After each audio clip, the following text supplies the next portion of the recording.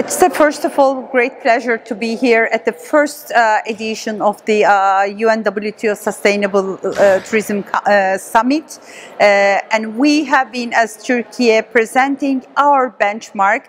the Green Tourism Transformation Program of Turkey, which was recently been announced in collaboration with GSTC, Global Tourism Sustainable Council, which includes the entire tourism services, facilities, and destinations green transformation uh, until uh, 2030 and complying uh, fully with the GSTC's industry and destination criteria. Sustainability, of course, there are the traditional four elements, but also from the practical point of view, for me, there are two states. What you have as organic, as sustainable, already existing in your destination, and what you are trying to implement and adopt as a country, as a destination, with all the measurements and so on. So when it comes to that, what we have as organic is the uh, the Cittaslows. We have the UNWTO uh, awarded, recognized two best tourism villages.